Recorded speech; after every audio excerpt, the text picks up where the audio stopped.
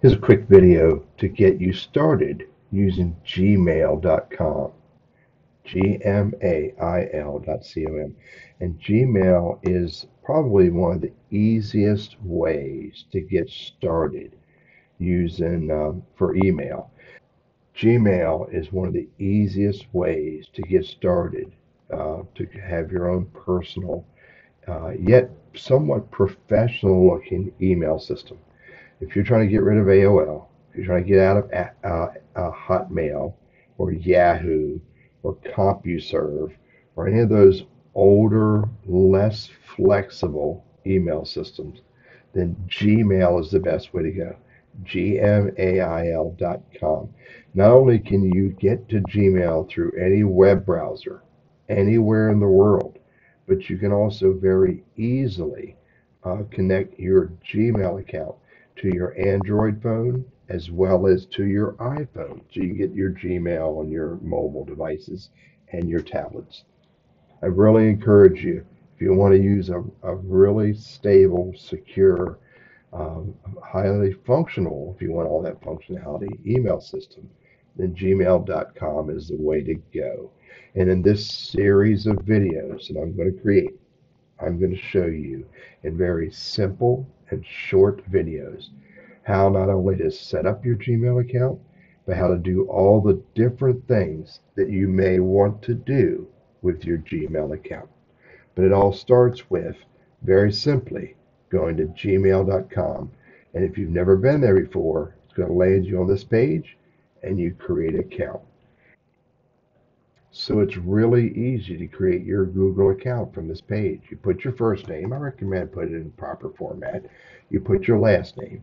You pick a username, and your username, in essence, becomes your email address when it does, in this case, lburris at gmail.com. And then you put a password, and I recommend it be something at least eight characters, the mix of letters, numbers, and symbols um, and, and then you'll type the same thing over here to confirm it and make sure you know it is. Making sure it's something you can remember, but it's not easy. Make sure it's something you can remember, but not easy for others to figure out. And then once you do that, then you hit next. And when you hit next, if that username is already being used, then you can't use it. So you have to adjust the username and then you can try next again and you see that's still being used. So then you might have to do something a little bit different to, in order to get to the next step. Google's going to want to verify you put a phone number in here so that you can uh, this is for security purposes so I recommend you put a and it's going to send a text message to this phone number to verify that you're a real person with the and it's going to send you a text message. It's going to start with G dash and then some numbers. We put those numbers in here and then verify. And now if it if you if you have another email address to connect it to in case you can't get into this one, then put that there. Oh, this is not optional. This is trying to verify that you're a real person. But male or female, or rather not say.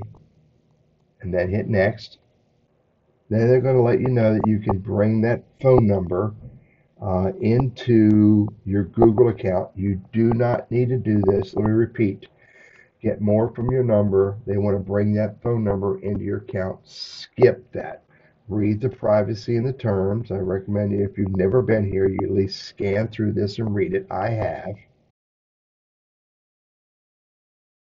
And that is all you need to do to get started using email. Now you can hit next, choose a default view, and there's your blank empty email ready for you to start using it.